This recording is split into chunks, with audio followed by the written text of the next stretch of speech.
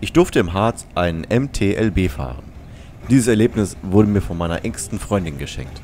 Der MTLB ist ein gepanzerter amphibischer Truppentransporter, der in der Sowjetunion auf Basis des ungepanzerten MTL entwickelt wurde. Mit seinem V8 Dieselmotor mit 240 PS schafft er auf der Straße ganze 61 km/h und im Wasser sogar bis zu 6. Das ganze Erlebnis hat sehr viel Spaß gemacht. Ich hatte einen coolen Einweiser, der mir das Gerät sehr gut erklärt hat. Und ich war ja am Anfang auch so ein bisschen überfordert. Es ist so, das Ding ist natürlich extrem rustikal gehalten.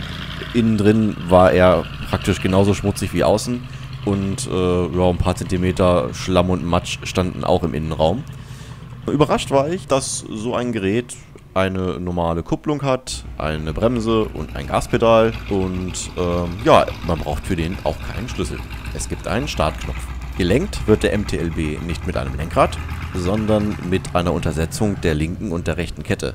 Das bedeutet, man hat im Prinzip da, wo bei einem Auto das Lenkrad wäre, zwei Griffe einen linken und einen rechten. Wenn man den linken Griff nach hinten zieht, wird die linke Kette untersetzt, ist also langsamer. Die rechte Kette schiebt das Fahrzeug weiter nach vorne und man dreht sich nach links. Und genauso andersrum. Das hat eine kurze Eingewöhnungsphase gebraucht, aber sobald ich das einmal raus hatte, war das Lenken, das Steuern kein Problem mehr. Und richtig beeindruckend fand ich die amphibischen Fähigkeiten. Hier sehen wir, wie ich durch eine doch recht tiefe Schlammpfütze fahre. Äh, da hatte ich im ersten Moment echt ein bisschen Schiss, dass das Wasser vielleicht sogar überschwappt oder so.